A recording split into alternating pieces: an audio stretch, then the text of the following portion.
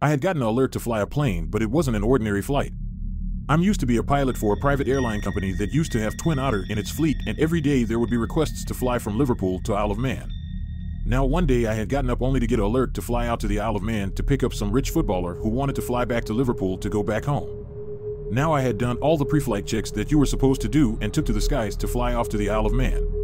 Around five minutes after takeoff, RAF Valley contacted me to be on the lookout for some objects just off the coast of Liverpool and told me there would be 10 to 5 of them at one time and would appear on radar, but couldn't see them. So I told them okay, and I kept flying until I had spotted something in the water. Now I carry a pair of binoculars with me that can see pretty far. My co-pilot grabbed the binoculars and stared down at the object when all of a sudden it had stopped its movement. Now at this point, I had called RAF Valley and told them all about what we saw, but a second later and all of our avionics went offline. My co-pilot was instantly trying to restart them, but no matter what we did, they wouldn't turn back on. Around a second later, we heard this strange humming coming from the right side of the plane, and then we saw it.